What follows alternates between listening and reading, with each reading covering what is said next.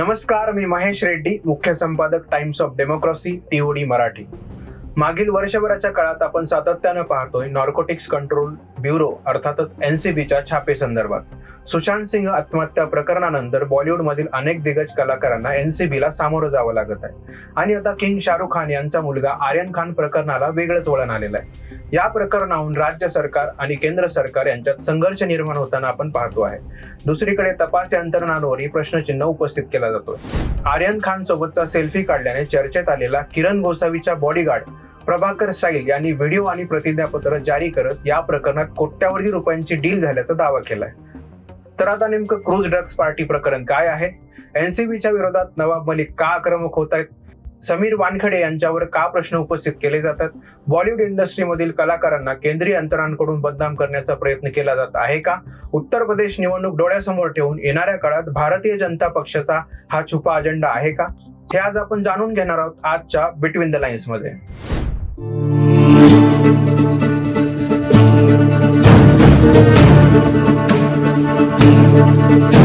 दोन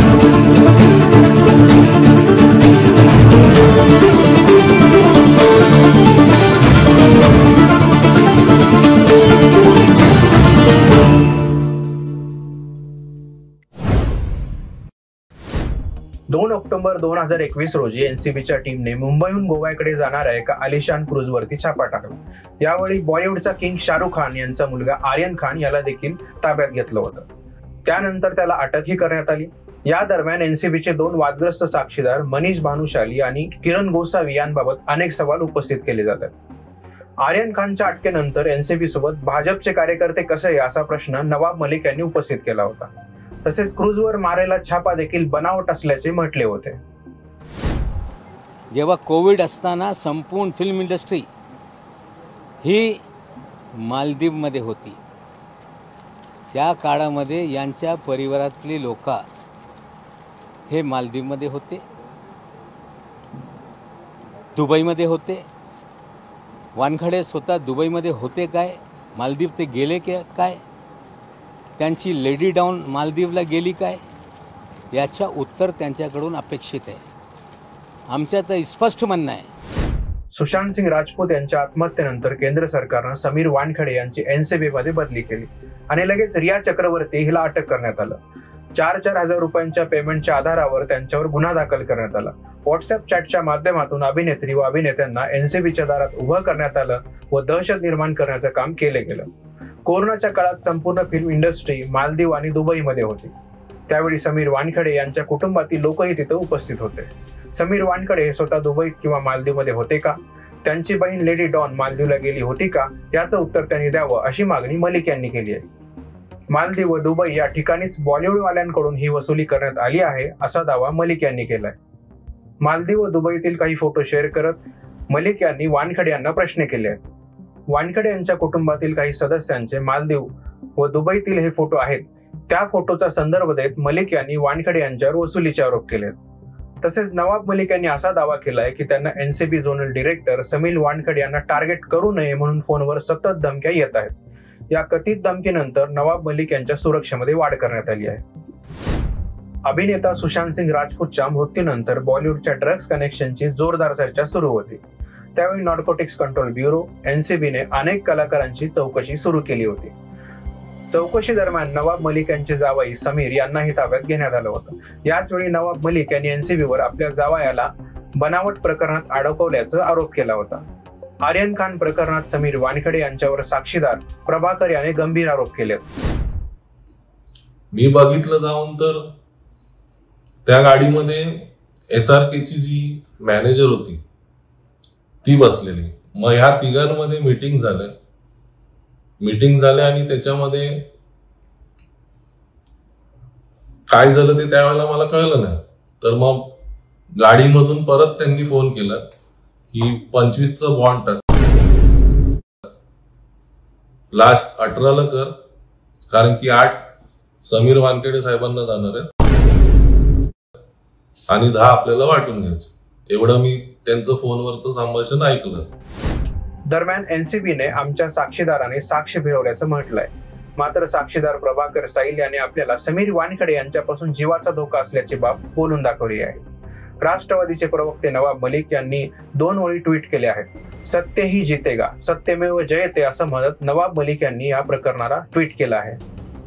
तर शिवसेना खासदार संजय राऊत यांनी प्रभाकरने दाखवलेला व्हिडिओ ट्विट करत या प्रकरणाची आता गृहमंत्र्यांनी चौकशी केली पाहिजे अशी मागणी दिलीप वळसे पाटील आणि मुख्यमंत्री उद्धव ठाकरे यांच्याकडे केली आहे. आज मी जे काय एक व्हिडिओ जो ट्विट केलेला आहे किंवा नवाब मलिक काही महिन्या दिवसापासून हा एक विषय मांडतायत हे पाहिल्यावर स्पष्ट दिसत आहे की काहीतरी या संपूर्ण प्रकरणामध्ये आयर खानच्या गडबड आहे. आणि ती गडबड नक्की काय आहे या संदर्भातले पुरावे आता समोर आले. आणि ते पुरावे असे आहेत की संबंधित सुपरस्टारकडून पंचवीस कोटीची खंडणी मागण्याचा हा एक प्रकार होता की काय? आपण जर मागील एक ते दीड वर्षाचा घटनाक्रम लक्षात घेतला तर आपल्या एक लक्षात येईल की मुंबई बॉलिवूड इंडस्ट्रीमध्ये काम करणाऱ्या कलाकारांना सातत्यानं केंद्रीय अंतरांकडून बदनाम करण्याचा प्रयत्न केला जात आहे. तसेच त्यांना वेगवेगळ्या प्रकरणामध्ये अडवले देखील जात आहे. या प्रकरणातील घटनाक्रम आणि राजकारण पाहता अनेक प्रश्न उपस्थित होतात. आपण भाजपाच्या प्रचाराचा अजेंडा जर लक्षात घेतला तर सुरुवातीला म्हणजे दोन हजार चौदाला म्हणजेच त्यांच्या फर्स्ट टर्मला सत्तेत येताना हिंदुत्व आणि राम मंदिर यावरती त्यांनी मतं मागितली होती. पुढे जेव्हा या मुद्द्याचं राजकीय महत्त्व कमी होते असं लक्षात आलं तेव्हा दोन हजार एकोणीस म्हणजे दुसऱ्या टर्मला त्यांनी राष्ट्रप्रेम आणि देशभक्तीचा मुद्दा पुढे करण्यात आला. यासाठी सिनेमा आणि समाज माध्यमांचा पुरेपूर वापर भाजप सरकारने केल्याचं दिसून येत आहे. काही दिवसापूर्वी उत्तर प्रदेशमधील फिल्म सिटी संदर्भात चित्रपट जगतामधील उद्योगपती व चित्रपट निर्माते यांच्याशी चर्चा करण्यासाठी उत्तर प्रदेशचे मुख्यमंत्री योगी आदित्यनाथ हे काही दिवसापूर्वी मुंबई दौऱ्यावरती आले होते. तेव्हा त्यांनी उत्तर प्रदेशमधील नॉयडा या शहरात जागतिक दर्जाचे फिल्म सिटी बनवणार असल्याचं विधान केलं होतं. हे सर्व पाहता मग प्रश्न उपस्थित होतात की कलाकार मुंबईमधून बाहेर जाण्यासाठी विरोध करत असतील किंवा केंद्र सरकारचा किंवा काही पक्षांचा अजेंडा दाखवणारे चित्रपट बनवण्यासाठी विरोध करत असतील? म्हणून त्यांच्या मुलांना या प्रकरणात टार्गेट केलं जात आहे का? सेलिब्रिटीच्या मुलांना टार्गेट करून मुंबईमधील बॉलिवूड इंडस्ट्री उत्तर प्रदेशमध्ये स्थलांतरित करण्याचा हा घाट आहे का? पक्षाचा अजेंडा दाखवणारे चित्रपट बनवून. भारतीय जनता पक्ष हा आगामी निवडणुकामध्ये मते मागण्याची तयारी करत आहे का?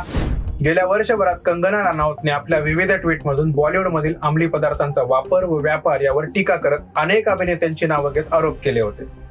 तसेच तिने मुंबई पोलिसांच्या कार्यपद्धतीवर देखील प्रश्नचिन्ह उपस्थित केला होता. आणि मुंबई पोलिसांची सुरक्षा देखील नाकारली होती. मग या ठिकाणी प्रश्न निर्माण होतो की कंगनाला महाराष्ट्र पोलिसांवर विश्वास बसत नाही का? सुशांत सिंग प्रकरणात आरोप केल्यानंतर कंगना राणावत ही मुंबई पोलीस व ठाकरे सरकारवरती घसरली होती. मुंबई पोलिसांची मला गुंडापेक्षा जास्त भीती वाटते. मुंबई मला पाकव्याप्त काश्मीर सारखी का वाटते असे ट्विट कंगनाने केलं होतं. त्यावर तिच्यावर टीकेची जोड उठवली गेली होती. मग आता प्रश्न उपस्थित होतो की कंगना राणावतला नेमकं पाठबळ कोणाचं आहे? या विषयावरती तुमच्या काय प्रतिक्रिया आहेत कमेंट बॉक्समध्ये नक्की कळवा. भेटूयात पुढच्या भागात नवीन विषयासोबत बिटवीन द लाईन्समध्ये.